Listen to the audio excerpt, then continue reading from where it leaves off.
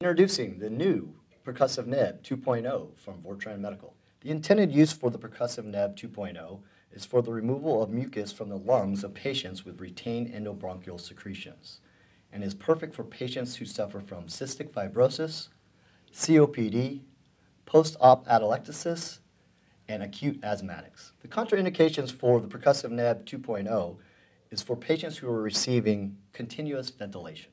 The Percussive Neb 2.0 includes a removable base to ward against cross-contamination by having to lay the device on a table, an ergonomic handle so that both small and large hands can easily handle the device and operate it easily, a removable nebulizer for easy filling, which also includes an anti-spill, a removable water trap to capture patients' exhaled moisture, a single adjustable pressure dial to adjust from softer to harder settings.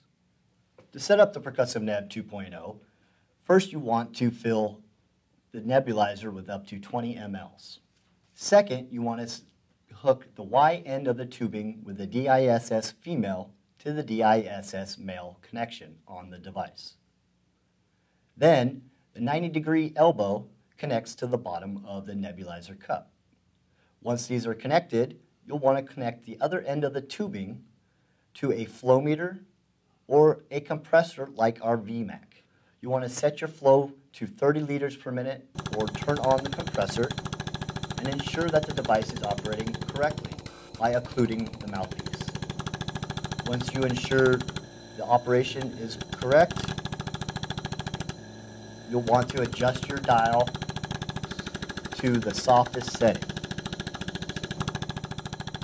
Gradually increase the adjustable pressure dial to the harder setting to get more percussive effect into the lower parts of the patient's lung. Normal treatment time is around 15 minutes or what is prescribed by a doctor.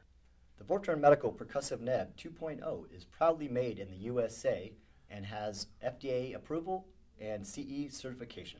Please visit our website at www.vortran.com or 800 434 4034, or you can send us a fax at 916 648 9751.